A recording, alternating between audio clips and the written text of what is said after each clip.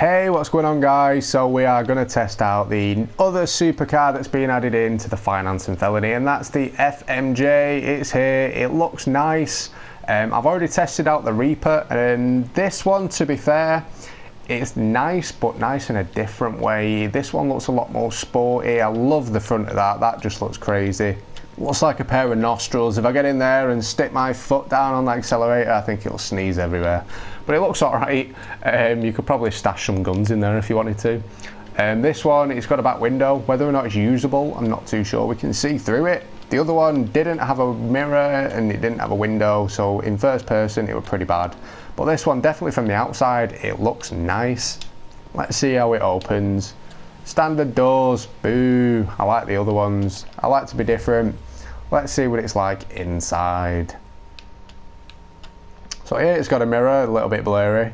We can see through, that's nice. I like the fact that you can see the engine. I like the stitching as well, it's a little bit different and the carbon fibre at the back. Um, yeah, the inside it looks pretty good, but we need to see how it drives. When you're in it, like I say, it looks pretty cool. It is pretty nice, um, but yeah, let's see what it controls like. So it's a bit of a beast. Let's see if we can get it out without crashing. It's quite wide as well. That's the one thing that I've noticed in. This time I think we'll go this way. Um, straight away driving this one, it feels faster than the Reaper.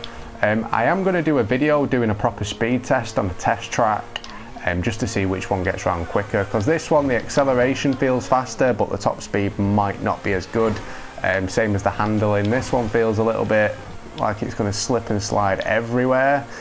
Um, but like I say, driving it, it does feel nice. This is one that I think I'm just going to go and buy as soon as I finish doing the videos. Um, so you'll probably see a few videos later on just showing every single thing. I'm not just covering the sports cars, I am also going to be covering the boring ones that most people aren't really bothered about because there's a couple of SUVs and stuff being added in as well. But this one, again, it is quite expensive. But if you're looking for a new supercar, I'd say get this one over the Reaper at the moment until I've done a full speed test. But we'll find out properly later. But that's it. That's this one. It's the FMJ. It's nice. Go buy it. But I hope you've enjoyed the video anyway, guys. If you have, please hit that like. Don't forget to subscribe if you are new to the channel. But thanks for watching, guys, and I'll catch you next time.